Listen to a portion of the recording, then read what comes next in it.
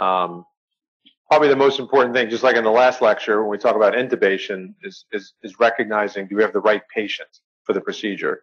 Uh, like in any procedure we do with a patient uh, or any medication, is this the right patient? Is this the right therapy? Is it the right time? Uh, central line is invasive. I think we all understand that. So recognizing if we're going to be going down uh, the pathway to put a central line in, have we thought very carefully about whether this is what the patient needs right now? Is there an alternative? And I'd ask the audience here. Uh, I know this this is maybe a simple question, but it's a very important question. What are alternatives to putting in a central line? I mean, there's many reasons we'd put a central line in, but let's just say for venous access, if that's the indication, what alternatives would we consider first uh, in advance of a central line that would be less invasive or potentially easier to perform? Um, what, what, examples can you do here uh, at Bach Mai? Như các bạn đã biết thì chúng ta biết là đặt KT tĩnh mạch trung tâm là một trong những thủ thuật mà cũng rất là quan trọng của à, về vấn đề hồi sức cấp cứu. Uh, và chúng ta cũng biết rằng là không phải là cái đây là một cái thủ thuật mà vô hại, không có rất nhiều biến chứng do đó mà cái việc mà chúng ta phải chọn đúng bệnh nhân chọn đúng thời điểm và ừ, thời điểm ấy để đặt à, là rất là quan trọng và cái chuẩn bị rất là quan trọng để chúng ta đặt một cái nội cái cái KTA cho nó chuẩn. À, tuy nhiên thì à, có không phải khi nào cũng cần phải đặt KTA đúng không ạ? Bởi vì là chúng ta phải luôn trước khi đặt chúng ta phải đặt ra vấn đề có phải cần thiết đặt KTA không? Hay là chúng ta có những biện pháp thay thế khác à, nó đỡ xâm lấn hơn đối với đặt KTA tim mạch trung tâm? Và nó an toàn hơn đặt cái tim mạch trung tâm thì ở câu hỏi dành cho các bạn ấy là bạch mai chúng ta có những biện pháp nếu không đặt cái tim mạch trung tâm thì chúng ta có gì thay thế cho cái việc đặt này? Có những cái gì để thay cho, cho việc đặt catheter tim mạch trung tâm không? Các bạn. I, I can think of five alternatives uh, maybe slight variations but can you think of five different ways? Let's say we need to give the patient medication and where would you start? What would be your first line thought about giving intravenous medication? What would you do? What would you try first? Như vậy thì chúng ta thử nghĩ đến năm cái ờ, ờ, thay thế khác mà cần phải đặt catheter tĩnh mạch trung tâm thì ờ, mà trong trường hợp của bệnh nhân mà chúng ta cần phải uh, đường cần một đường truyền chẳng hạn thì chúng ta chọn những đường truyền gì ạ? Chúng ta thường có những đường đường gì để đưa thuốc vào trong người ạ? Ngoài catheter tĩnh mạch trung tâm ạ? Nội chú được rồi. Đấy, xin mời em em thầy có đường truyền à, tĩnh mạch ngoại vi hoặc à. có trường hợp cấp cứu có thể tiêm vào xương chảy nữa. IO and uh, uh, peripheral vein. Uh, what, what was it? IO I heard. And, and peripheral. Peripheral. Yes. Uh, let's say you try peripheral and you can't find a vein. What might you consider next to help you find a vein? À, nếu mà trong trường hợp mà bạn uh, đường truyền uh, ngoại vi mà bạn thấy rằng là không tìm được đường truyền thì cách nào mà để giúp cho bạn có thể làm được đặt đường truyền được? Có cái nào mà đạt được chuyện được nếu mà chúng ta thì khó tìm ven thì chúng ta làm cái nào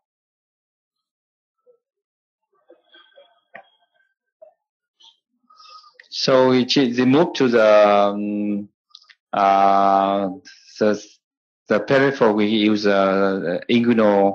Okay. Okay. Uh, inguinal for peripheral line. Uh, dùng cái KT thường cho tính nước biển.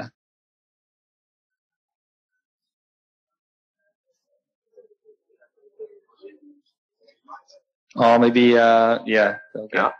So maybe external jugular. Yeah. yeah.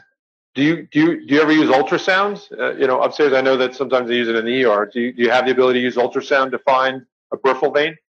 Các bạn đây có bao giờ dùng cái siêu âm để chúng ta tìm tĩnh mạch mạch đi chưa? Chưa, chưa. Sure. I mean, you're cardiologist. You're gonna you live and breathe ultrasounds. You know. Bạn là bác sĩ về tim mạch thì xung quanh đầy máy siêu âm tại sao lấy mang cái máy siêu âm ra soi luôn xem cái tính mạch ngoại vi nó nào. And, and clearly, if you can understand looking at the heart by ultrasound, you surely can figure out how to find a vein uh, or or be able to search for a vein. Đơn giản vì các bạn có thể siêu được tim cơ mà, thì tội gì mà bạn không siêu ra tĩnh mạch đơn quá đơn giản luôn đúng không? No. So I think of patient in the emergency department, peripheral access first. Ultrasound may be somewhere early on to get the person is difficult access to begin with. Can look for external jugular, which again is peripheral line. Uh, you can clearly, in, in some cases, uh, maybe the medication could be given intramuscularly. There may be an alternative to putting an IV in. That, that's always a consideration. Uh, IO, uh, more expensive, more invasive, but clearly something that can be done quickly and may uh, help. Uh, it's often used in cardiac arrest because it's quicker to do. Um, but again, thinking through what are alternatives? What does the patient need? If they need medications intravenously, you would go through peripheral line, ultrasound line, external jugular. Maybe you've exhausted those, and then you realize it, there's a clear indication for central line. Như vậy là khi mà chúng ta có một cái chỉ định uh, phải cần phải truyền thuốc chẳng hạn thì chúng ta luôn luôn phải nghĩ những cái sự thay thế chứ không bao giờ phải nghĩ đặt luôn lên KTM tim mạch trung tâm. Uh, ví dụ như là đường truyền ngoại ờ, ngoại vi này, uh, nếu mà cần thì có siêu âm hỗ trợ này, rồi có thể là sử dụng à, uh, tĩnh mạch cảnh ngoài này, rồi có thể sử dụng uh, uh, đường truyền uh, trên đầu xương này, đúng không ạ, xương chày chẳng hạn. Thì đấy là những tất cả những cái gì mà chúng ta có thể làm được trước khi mà chúng ta phải nghĩ đến cái chỉ định đặt ờ, uh, KTM tĩnh mạch trung tâm. Yeah. So we're going to talk. Uh, we're going to talk about three main categories next, and uh, I think we get to share the slides with you before you have to take quiz. Uh, I would say think of very carefully of what what else can a central line provide for, and I don't want to ask the audience here. So uh, indications, contraindications, and then um, complications. Uh, again, invasive, but there's many other things that a central line can offer that a peripheral line may not be able to. Um, the other choice I didn't mention was in our hospital, we have the ability to put in what's called a PICC line. I believe you can do that here. Uh, that would obviously be less invasive as well. Uh, it may not be indicated if you need it emergently, but we want to think of uh, what what are the other things that a central line can offer. Um, I'm asking the audience, what what else can a central line, what else can you do with a central line in terms of therapy that you can't uh, necessarily do with a peripheral line? À, khi mà chúng ta đặt đường uh, truyền uh, trung tâm uh, KT tới trung tâm thì chúng ta phải hiểu rằng là nó có chỉ định, có chống chỉ định rồi nó có rất nhiều các cái biến chứng à, và vì lý do như vậy thì có rất nhiều cái bệnh viện ờ, người ta ờ, ví dụ như là cái cơ sở y tế của chúng tôi ấy, là các anh ấy có cho đặt cái đường truyền trung tâm nhưng mà lại không đặt trực tiếp ở bên ờ, trực tiếp vào cái tĩnh mạch trung tâm đâu mà luồn từ tĩnh mạch ngoại biên vào tĩnh mạch trung tâm nó gọi là pick line. Thì cái đấy là gì? Nó sẽ đỡ cho chúng ta xâm lấn rất là nhiều. À, và thế thì đặt ra câu hỏi ở đây là cho các bạn là nếu mà chúng ta đặt cái đường truyền trung tâm ấy thì nó có cái ưu điểm gì mà cái đường truyền ngoại vi nó không có? Tức là hay nói một cái khác là bạn đặt được đường truyền tim mạch trung tâm để làm gì? Yeah. so. Ok. Yeah. bạn đặt uh, trung tâm để làm gì xin mời bạn? Uh, so. mình cần một uh, đường truyền để uh, duy trì truyền thuốc uh, lâu dài cho bệnh nhân. Cùng với là một đường truyền lớn. Thì có thể một số thuốc cần truyền tốc độ nhanh thì mình sẽ sẽ có đường truyền lớn để sử dụng So the reason why you need to do the central line because of uh, uh, you keep a longer time. Longer time, okay. And the second is uh, you can use uh, with a high uh, is larger uh, uh, catheters. Yes. And in which you can uh, do faster for the infusion. Faster infusion. Yep. Uh, and that's right. And those are correct. And this list here is much more comprehensive. I would say look at this list and memorize this list. You, you won't necessarily be doing hemodialysis, but realizing that there's multiple uh, opportunities. More likely, you'd be inserting a transvenous pacemaker. Um, that's something you can't do with a peripheral line. Repetitive blood sampling, patient that's going to be in the hospital for a while. Multiple medications if you're using a triple lumen. Um, and you know, you, you, have the ability to provide for a number of other therapies uh, it's not just venous access, um, and recognizing that um, if a patient is going to be in the intensive care unit in particular uh, and on multiple drips, um, a lot more easy to manage through uh, central access. Um, certain medications too may be better to give centrally than peripherally um, in terms of damage to the vein, but this is sort of a list to think of other things uh, to consider. Đây là những cái chỉ định mà chúng ta bắt buộc uh, phải phải phải đưa ra ấy, khi mà chúng ta muốn đặt cái đường truyền ờ, uh, tĩnh mạch trung tâm thì uh, cái câu chuyện này ở đây thì nó có rất nhiều cái chỉ định. Các bạn thấy là ví dụ như tim mạch của bạn ấy bạn phải đặt cái máy tạo nhịp thì không thể là từ, từ ngoại biên được đúng không ạ? Bạn phải đặt từ trung tâm thì bạn mới đặt vào được. Hoặc là những cái KTM mà đối với hồi sức thì chúng ta phải lọc máu ấy, hoặc là thay cái tương thì chúng ta cũng phải bắt buộc vào đường trung tâm chứ không thể đường ngoại biên được hoặc là những cái KTA để chúng ta đo được các cái uh, áp lực ở trong buồng tim hoặc là động mạch uh, phổi chẳng hạn thì bắt buộc cũng phải đi qua đường trung tâm. Ngoài ra thì những cái khác ví dụ liên quan đến câu chuyện mà chúng ta lấy máu nhiều lần hoặc là truyền nhiều loại thuốc trong cùng một lúc. Bây giờ quay lại cái câu trả lời của bạn nhé thì tôi thấy là này không phải là đường truyền tĩnh mạch trung tâm ấy là kích khẩu kính của nó to hơn là ngoại biên đâu nhá nó không to hơn khẩu ngoại biên. Nhưng mà nếu như mà ngoại biên của bạn ấy mà bạn truyền quá nhiều thuốc trên một đường truyền ấy thì nó sẽ gây ra một cái hậu quả vô cùng lớn ở cái chỗ là gì? Các cái thuốc đó nó vào không đúng theo cái hàm lượng mà các bạn mong muốn. Tức là vì là một cái ừ, chỉ có một đường truyền chung mà. Thì đâm ra một ông đi thôi còn ông khác ông sẽ dừng lại.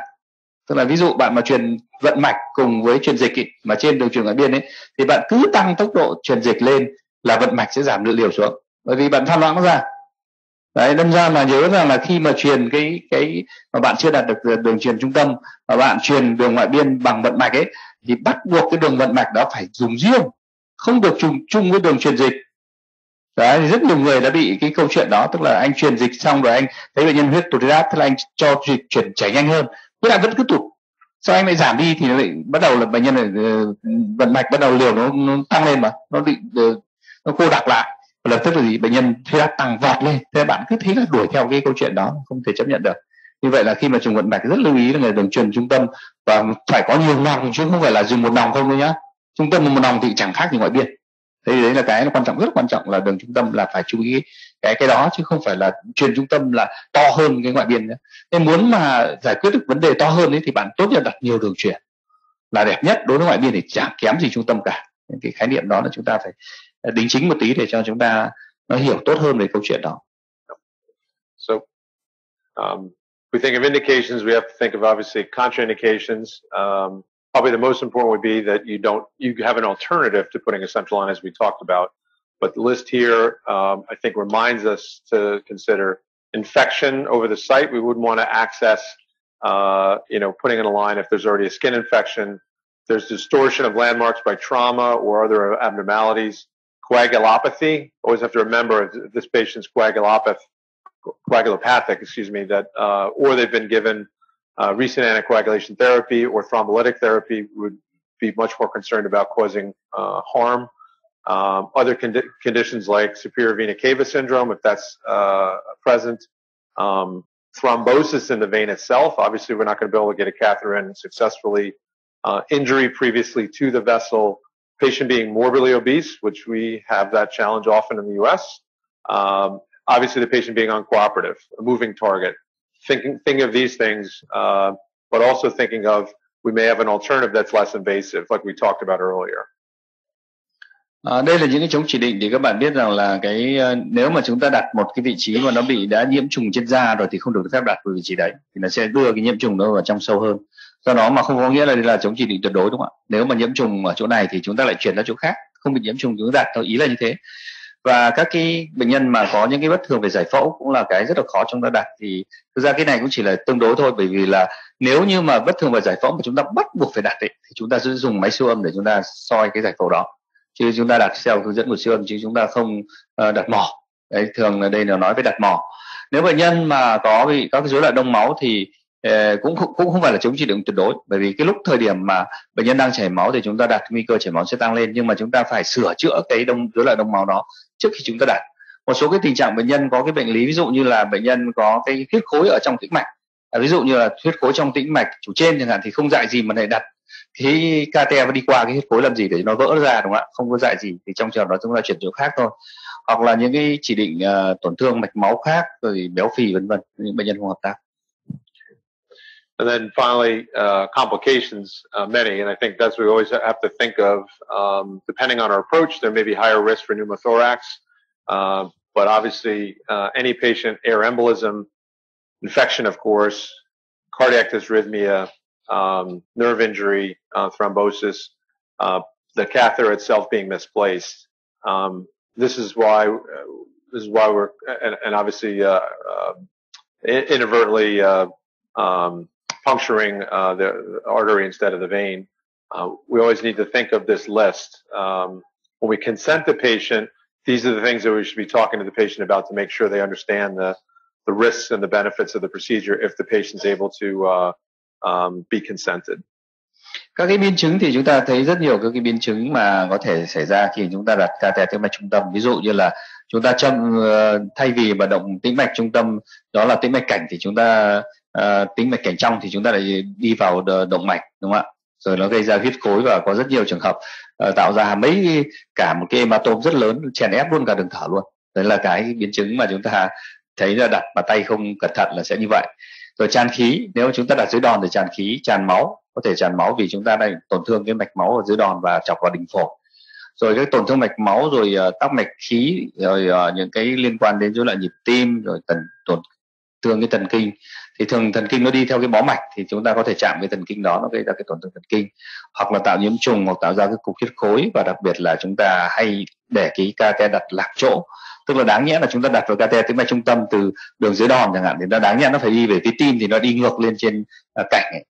Ờ, hoặc ngược lại thì đi từ động mạch dưới đòn thì chúng ta lại tĩnh mạch dưới đòn thì chúng ta lại đi đi vào tĩnh mạch uh, đúng không ạ thay vì là tĩnh mạch chủ trên thì chúng ta lại đi vào cái tĩnh mạch uh, từ, từ tĩnh mạch cảnh đi xuống tĩnh mạch dưới đòn vân vân đấy những cái vị trí nó thay đổi thì, uh, do cái việc là thay đổi cái đầu catheter này nó sẽ ảnh hưởng là những cái biến chứng được gọi là biến chứng sau khi chúng ta đặt catheter. Any questions? Có câu hỏi gì trong phần này không? Okay. Um, real briefly, I don't, I don't think, I think this should be familiar to everyone in the room, uh, or a kit that looks similar to this in terms of um, the tools that we need to put in a central line. Does this look familiar? đây là yes à, đây là các cái dụng cụ mà chúng ta cần phải chuẩn bị à, khi đặt KTT trung tâm ngày xưa là chúng ta phải chuẩn bị từng cái dụng cụ một uh, lẻ đấy nhưng mà bây giờ nó trở thành gói rồi mở ra nó có sẵn trong đấy là các bạn có thể sử dụng một cách rất là thuận tiện yeah. Um, biggest concern I know here as back in the US and elsewhere is concern about um, preventing iatrogenic infection uh, doing this procedure under sterile technique Uh, obviously, when this is done in a, a in a dynamic or emergent uh, situation, sometimes uh, it's not ideal. Uh, our policy in our hospital is if a patient gets a central line in the emergency department and they get admitted upstairs to the ICU, it's going to get changed because they're concerned about infection. It's not that we don't pr- pr- um, practice sterile technique, but there's a much greater risk of uh, the uh, patient becoming infected when it's done emergently so often we'll change uh, the procedure. We also have developed what's called a um, central line team, dedicated nurse in the hospital that comes with a cart. All the equipment's there, um, and they found that certain certain repetitive steps and making sure that people are following sterile technique actually cut down on the infection rate. So very important. Một trong những cái biến chứng của đặt KTA uh, tĩnh mạch trung tâm đó là chúng ta gây ra nhiễm trùng tăng cho bệnh nhân tức là nhiễm trùng uh, bệnh viện đấy. Thì để tránh những trường hợp như vậy thì rõ ràng là có mấy cái giải pháp để giải quyết. Tức là thường ấy ngay cả trong A9 các bạn biết ấy, là chúng tôi thường là các cái KT hoặc là những cái đống nội quản mà tuyến trước đặt ấy, là chúng tôi sẽ phải thay. Đến là chúng tôi sẽ thay và trong cái điều kiện đảm bảo tốt nhất là gì? Chúng ta thay cái hệ thống ống mới hoặc là KTM mới à, đối với các bệnh viện ở nước ngoài thế. Nếu mà chúng ta cần phải đặt cái gì mà cấp cứu thì thường là khi mà chuyển về hồi sức là người ta sẽ thay cái đấy vì người ta sợ là sẽ bị nhiễm trùng. Một số cái bệnh viện họ sinh ra một cái cái team được gọi là team chuyên về đặt catheter tĩnh mạch trung tâm. À, thì trong cái team đó là gì? Họ được đào tạo chuyên ngành rồi. Họ ấy, ờ, cái thủ thuật họ rất là vô khuẩn rồi họ có cả cái xe thủ thuật đi riêng cần cái họ kéo cái xe đó đến tất cả cái bệnh phòng để họ đặt. Chứ không phải để cho chúng ta đặt như vậy thì nếu mà chúng ta sống ở đất nước đó thì chúng ta chả làm gì cần phải làm gì cả chả phải đặt cái gì cả chúng ta cứ ngồi chỉ đạo là chính Other thing that I think it's helpful to remind us uh, is the different uh, techniques. Obviously, there's more than one. Typically, when we learn to put a central line in, we're going to learn more than one technique, but ultimately becoming very comfortable with at least one technique, you know, above the umbilicus and understanding uh, how to put a femoral line in as well, but recognizing the advantages and disadvantages of each. Um, I think in the interest of time, I'll just highlight some of those, but you'll get these slides. I think it's important to go through and remind ourselves um, why you might consider uh, internal jugular versus um, uh, subclavian vein uh, in terms of the complication rates um, and what, what we can and can't do. For example, femoral line, uh, maybe easy access and emergency in terms of gaining access, but also highest risk for infection. also can't do reliable CVP measurements. So there's limitations and understanding both the advantages and disadvantages of each approach, I think is important to, to review. À, đây là một cái bảng mà cho chúng ta biết được những cái ưu và nhược điểm từ các cái vị trí ờ, khác nhau để chúng ta đặt KT tĩnh mạch trung tâm. Ví dụ như là đường uh, uh, tĩnh mạch cảnh trong này, rồi đường ờ, ờ, uh, tĩnh mạch đùi, rồi trên đòn và dưới đòn. Thì chúng ta có những cái ưu điểm ở bên cột ờ, giữa và có cái nhược điểm ở cái ờ, cột sau cùng ở bên tay phải. Thì cái nhược điểm mà chúng ta biết là gì có những cái vị trí thì cái nguy cơ nhiễm trùng nó tăng lên. À, ví dụ như là uh, ờ, KTA tĩnh mạch đùi chẳng hạn thì là chúng ta sẽ thấy nó tăng lên đúng không ạ về cái nhiễm trùng vì nó rất là vùng gần cái vùng này vùng đó thì chăm sóc và cái thứ nó sẽ bị nhiễm bẩn thôi nhưng mà nó lại làm như cái nơi mà đặt dễ nhất đúng không ạ thì đấy là những cái mà chúng ta biết là biết những ưu nhược điểm đó và chúng ta sẽ có cái bài này gửi cho các bạn và các bạn sẽ nghiên cứu trước kỹ đi, trước khi chúng ta làm thủ thuật đi, và chúng ta có thể chọn được cái đường đúng. Còn đương nhiên là nếu mà chọn một đường mà không được thì chỉ còn cái đường thứ hai thôi. Đấy, chỉ là cái cái đôi khi là chúng ta có những, khi mà chúng tôi nội chú ý là chúng tôi đặt KT là chúng tôi chọn tất cả các đường. Vẫn cuối cùng vẫn trả lời là không vào là bởi vì là chỉ có một người làm thôi. Đúng không ạ? Đôi khi là chúng ta phải đổi tay. Hoặc là chúng ta phải mang máy siêu âm ra đấy là hai cách để giải quyết vấn đề là yeah. chọn đúng đường for first line for central line how many would do internal jugular first as your first first uh, um, preferred method À, trong số các bạn thì nếu mà được uh, các bạn đặt KT thì bạn chọn cái uh, tính mạch uh, cảnh trong ấy là lựa chọn đầu tiên uh, đã sơ tệ. Okay. How many would do uh, subclavian? Bạn nào sẽ chọn uh, dưới đòn ạ, sơ tệ? Okay. Okay.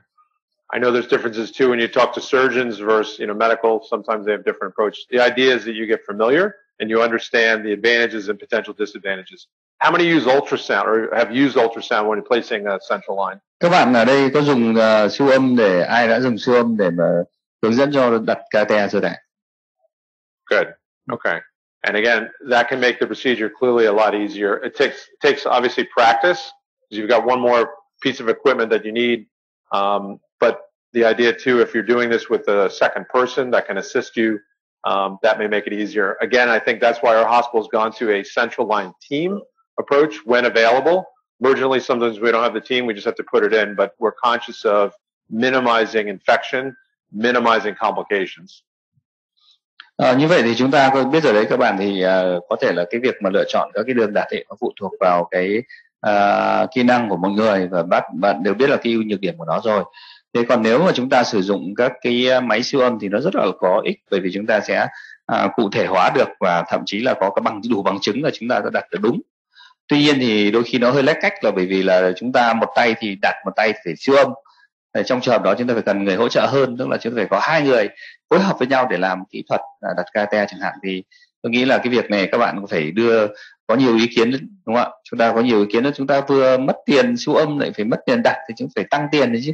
Cái gói thủ thuật ít tiền quá nó không bỏ công để máy mang cái máy siêu âm ra chứ giả sử bây giờ cái gói thủ thuật mà nó cho các bạn uh, chọn bao nhiêu tiền đặt vào đấy cũng được nhỉ? Thì các bạn mang hết cái máy siêu âm hiện đại nhất của viện tim mạch ra đặt ca theo tĩnh mạch trung tâm ngay lập tức đúng không? Đây là cái mà là do nhiều khi là chúng ta à, như, như thế thế thì còn à, ngoài ra thì cái team ấy cái team mà chuyên về đặt ca tức là bên nước ngoài nó có cái team chuyên về à, đặt các đường truyền trung tâm ấy thì cái nhóm đó sẽ được họ sẽ trang bị rất là đầy đủ và chúng ta người ta đặt rất là chuyên nghiệp.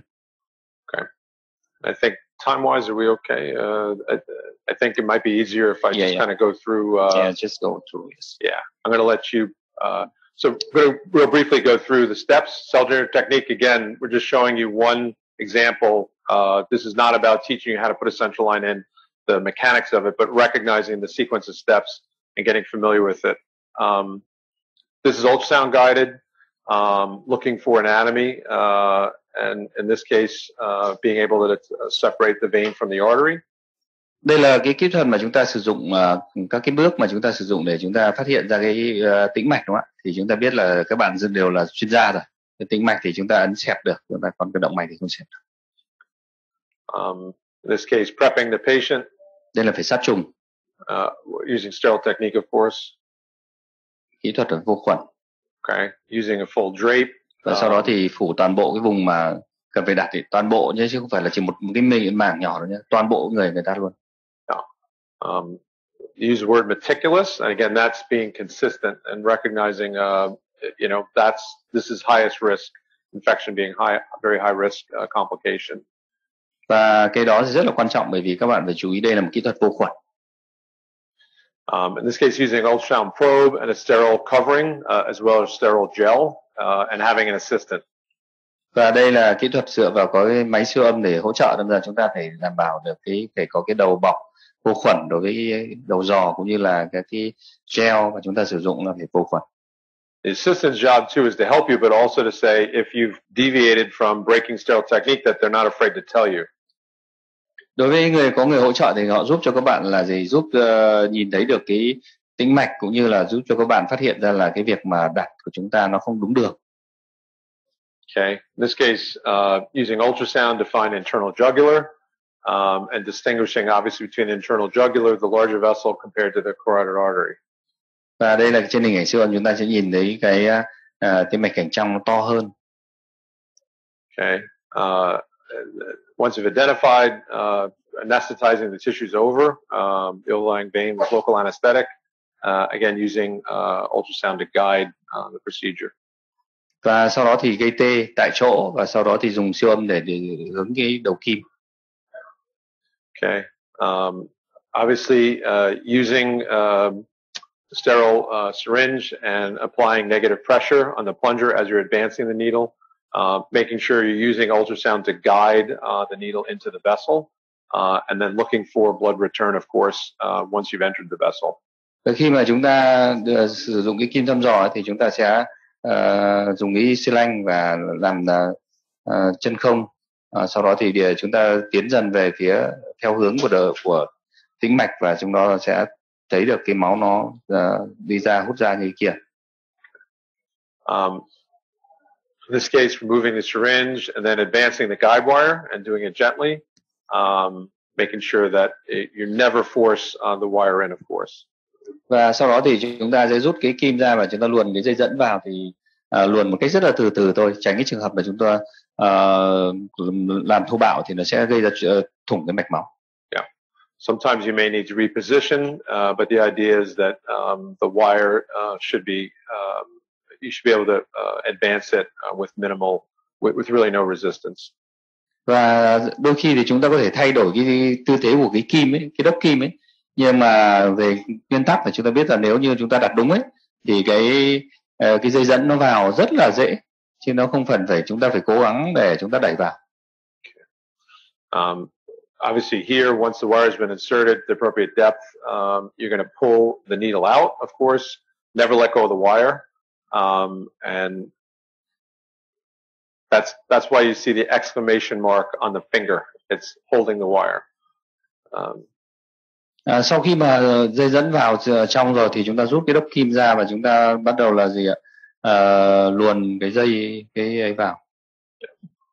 Um, sorry, there's other slides here to show obviously the, the rest of the procedure, but the idea of getting the guide wire in, you'd use uh, your scalpel to make an incision at the wire site, use a dilator to put in, um, and then uh, being able to actually thread, if you're using a triple lumen catheter, over the wire, um, and then securing it. À, thủ thuật tiếp theo thì các bạn cũng đã chắc là cũng biết rồi, tức là chúng ta đều phải mở